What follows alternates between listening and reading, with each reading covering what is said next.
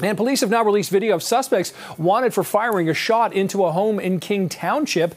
Officers called to this home on Coppermine Court Tuesday night, just before 10, for sounds of gunshots.